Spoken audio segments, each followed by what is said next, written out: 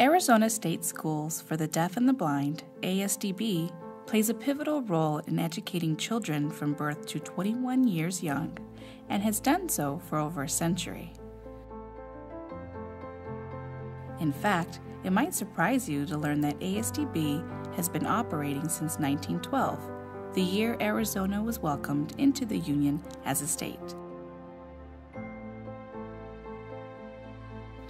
As you can imagine, a lot can change in a hundred years, and that has certainly been the case with ASDB.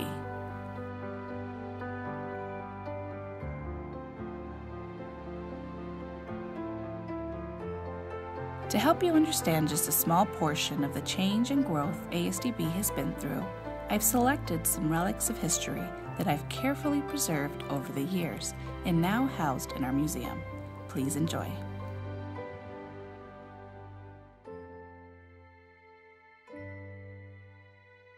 Important leaders in ASDB's history.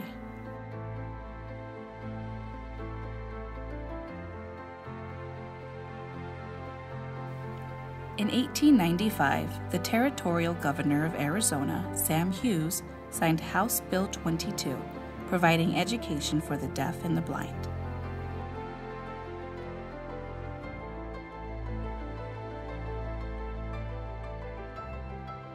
Nineteen ten, John Matthews, first president of Arizona State University, went to Massachusetts and met with Henry C. White, a deaf graduate of Gallaudet College in Washington, D.C.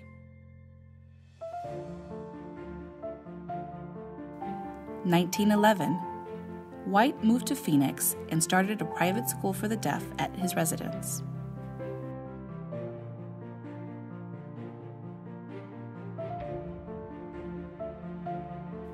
1912, Governor W. P. Hunt appointed Henry C. White as the first deaf principal of the School for the Deaf and the Blind.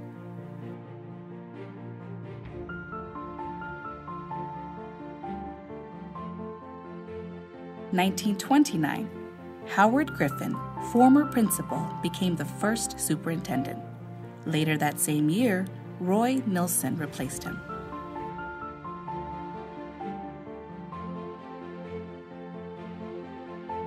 1941 to 1974.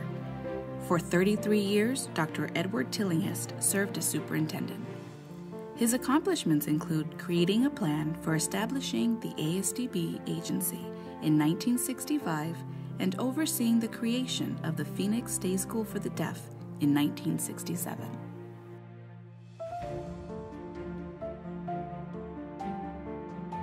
Many other superintendents served after Tillinghast, but it wasn't until 104 years after Henry C. White, ASDB's first principal, that ASDB would have another leader who was deaf.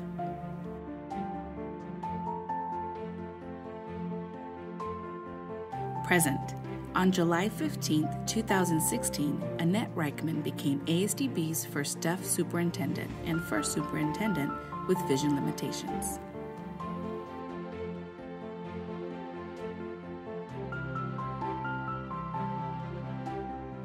First school campus. The first campus was located on the University of Arizona grounds, next to the old main building.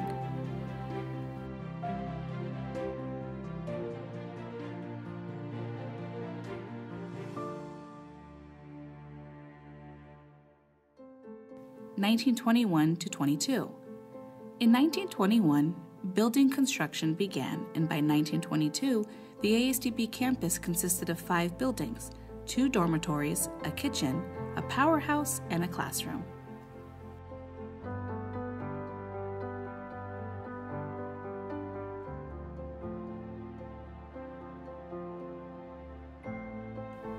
In 1945, all original buildings, with the exception of the superintendent's house and bathhouse, were dismantled and rebuilt.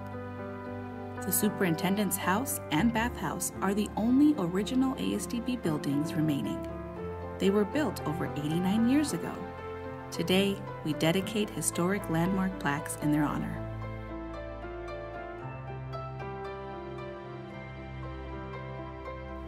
Now, In 2016, the campus has greatly expanded. The heart of ASDB, its students, teachers, and staff. Sewing class. In 1925, both blind and deaf girls were in the same sewing class together.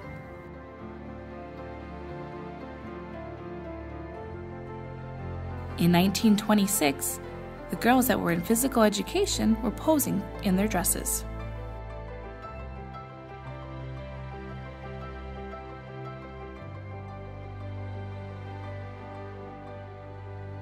A photograph taken in 1937 of Jackie Coker, a deafblind student who was called Arizona's Helen Keller.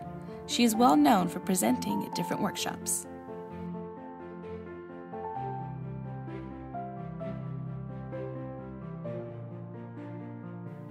In 1928, ASDB was one of the first schools with a swimming pool in Tucson.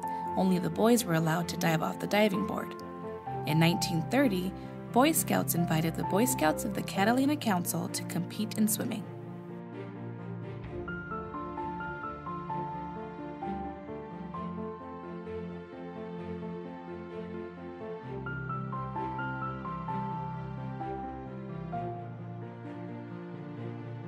In 1936, boys were painted in gold from their head to their toes. They performed the Golden Athlete twice in 1936 and 1937.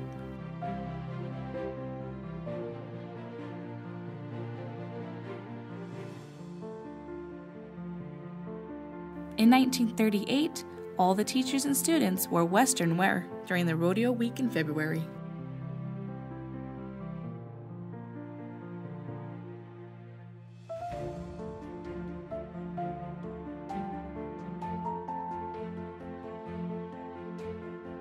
In 1936, Sea Scout was formed.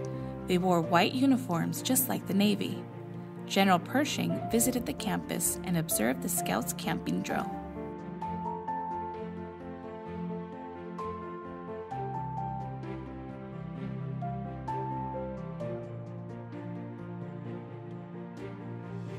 In 1948, a quartet consisting of four blind boys performed on radio KVOA's Barn Dance program.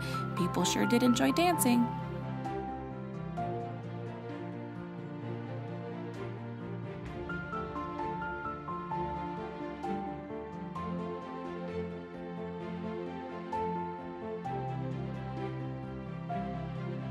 In 1950, the Blind Chorus traveled by train to Chicago to perform a concert. They sang for 3,000 delegates at the International Lions Convention.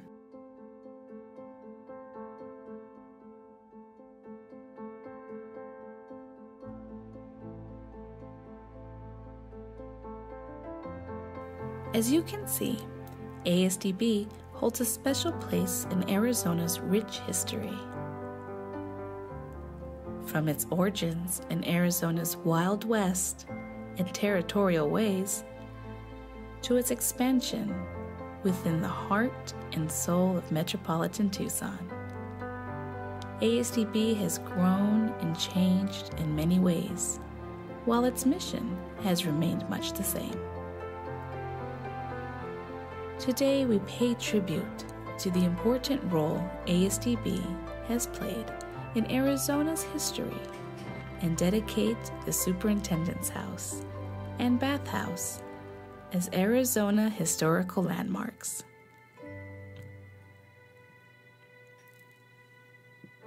By honoring these two buildings, we help preserve them for future generations to help them stand up to the test of time. These landmarks symbolize the unwavering commitment Arizona and ASDB have towards educating youth who are deaf, blind, visually impaired, and deaf blind throughout all of Arizona.